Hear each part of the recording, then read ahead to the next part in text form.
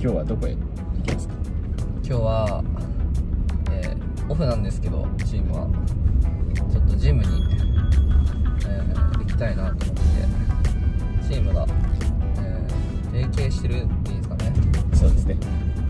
あのジムの方でちょっと軽くトレーニングしてしたいなと思って、えー、翼さんを起こしました。はい。まあね起こしたって言ってももう 1, 1時やオフの13時は結構ゆっくりしてたんじゃないですか。そうですね。今から一緒にトレーニングに向かいたいと思います。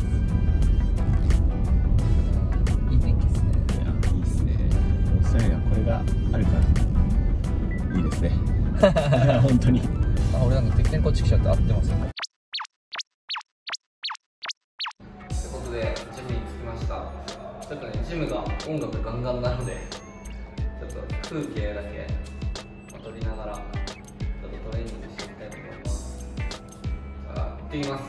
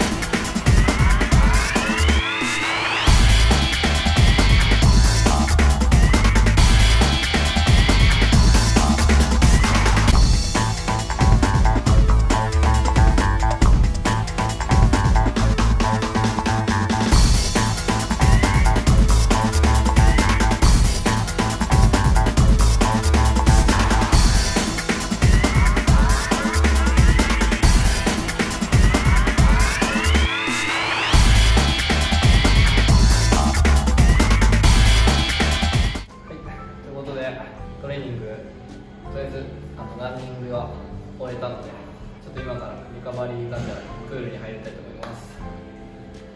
いやきつかったですね。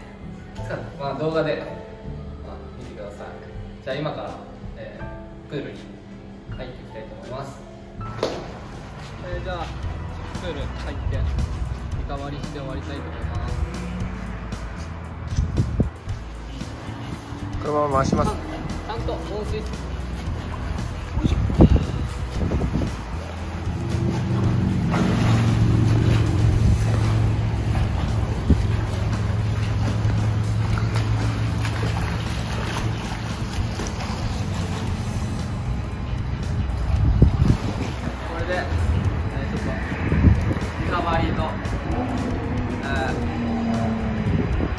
クールダウンして終わりたいと思います。